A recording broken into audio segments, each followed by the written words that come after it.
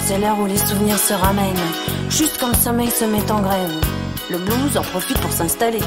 Quelques verres de vin blanc pour exciter le manque. Et on se repasse le film sur un air de romance. On revoit les débuts et on connaît la fin. Bon, ça c'est mon côté pessimiste. Je préfère penser que c'est une histoire sans fin, si ça vous dérange pas trop. Oh, pour une fois. Bon, je laisse tomber le couplet sur l'amour immortel, ça ne concerne pas grand monde. Puis de toute façon, la mort d'un amour donne la vie à un autre. Il y a déjà moins de soucis à se faire.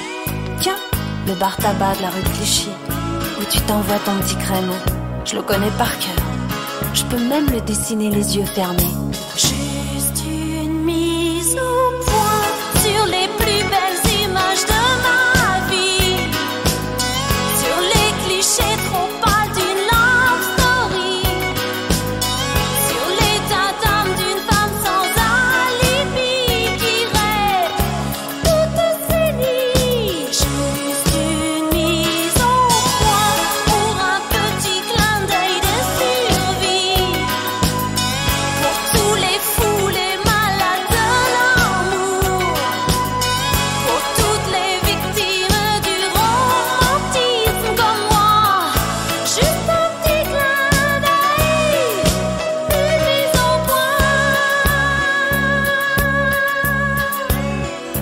Nos vacances au soleil, sous les UVB, dans un institut de beauté.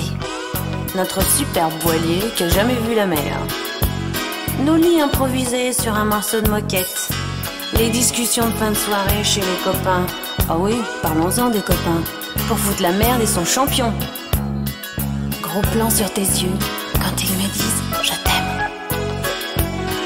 Nos scènes de jalousie qui fatiguent tout le monde, la rue des Bernardins, le square Gambetta, nos crises de fou rire juste au mauvais moment, et nos jeux de mots ringards qui ne font rire que nous. Puis, notre premier rendez-vous dans un nightclub désert, avec la bonne copine qui veut pas tenir la chandelle et qui se tire en râlant. Juste une mise au point sur les plus belles images de